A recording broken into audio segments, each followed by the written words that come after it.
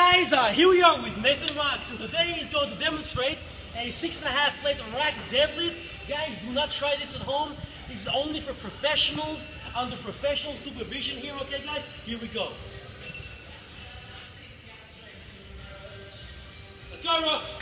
Two reps. Yeah. Easy, reset. Pull. And again, Rocks. Reset. One more rep. Reset. Pull. Thrust. Up. That's it.